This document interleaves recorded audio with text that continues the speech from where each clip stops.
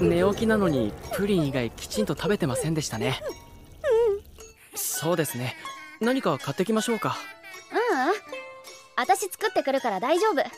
北川さんの手料理俺がやります。今日は任せてよ。よっと。やば。ノーブラじゃん。まあいっか。うーんとうんオムライスとか？クソ女子じゃはずこっつ。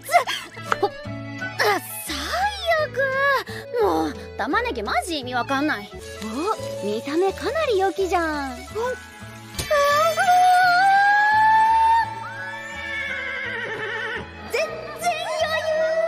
余